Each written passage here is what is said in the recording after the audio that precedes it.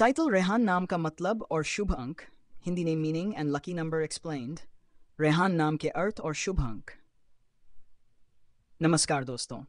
आज हम बात करेंगे एक रोमांचक हिंदी नाम के बारे में रेहान तो चलिए जानते हैं इसका मतलब और शुभ अंक।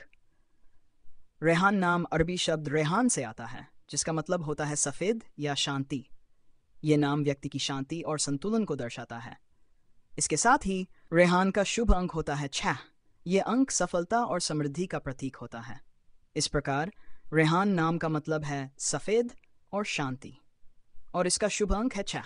अगर आपको ये वीडियो पसंद आया हो तो इसे लाइक करें, शेयर करें और हमारे चैनल को सब्सक्राइब करें।